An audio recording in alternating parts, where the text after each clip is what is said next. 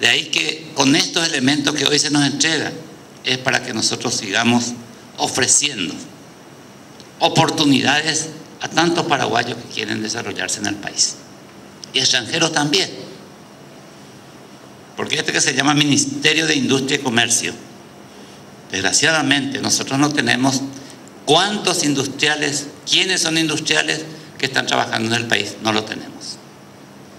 Y gracias a este trabajo que está haciendo el general Jara, ahora con la ayuda pero enorme del doctor Rodríguez Silvero y de todos ustedes, vamos a llegar al objetivo.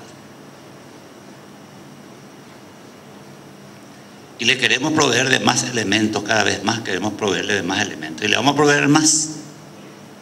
Yo sé que uno de los que es fundamental. Y le queremos proveer de más elementos, cada vez más queremos proveerle de más elementos. Y le vamos a proveer más. Yo sé que uno de los que es fundamental son los medios para que ustedes puedan trasladarse de un lugar a otro. Porque vamos a tener seguramente ahora la revisión de todas las industrias eh,